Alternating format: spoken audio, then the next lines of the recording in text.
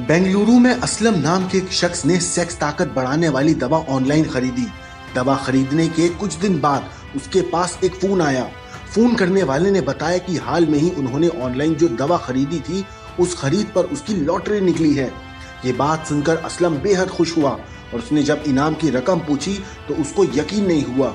Phone करने वाले ने बताया कि इनाम के तौर पर उसे लाखों रुपए की रकम दी जाएगी। उसने असलम को बताया कि वो कुछ दिन बाद फिर फ़ोन करेगा और आगे की प्रक्रिया के बारे में उसको बताएगा। लाखों का इनाम निकलने की खबर से असलम बेहद खुश था। कुछ दिन बाद असलम के पास एक बार फिर फ़ोन आया और फ़ोन करने वाले ने उससे उसका अकाउंट नंबर और बाकी डिटेल्स ली। साथ ही उसने ये बताया कि रकम पर जीएसटी चुकाने के बाद इनाम की रकम उसके खाते में ट्रांसफ़र कर दी जाएगी। असलम ने बताए गए खाते में जीएसटी रकम जमा करा दी। लेकिन तब भी इनाम की रकम उसके खाते में नहीं आई।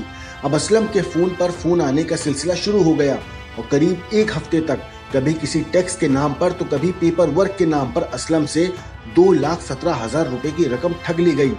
इतनी रकम गंवाने के बाद असलम का माथा ठनका और तब जाकर उसने पूरी वारदात की इत्तला पुलिस को दी।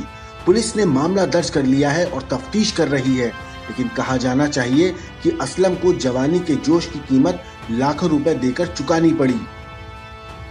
Bureau report crime stuff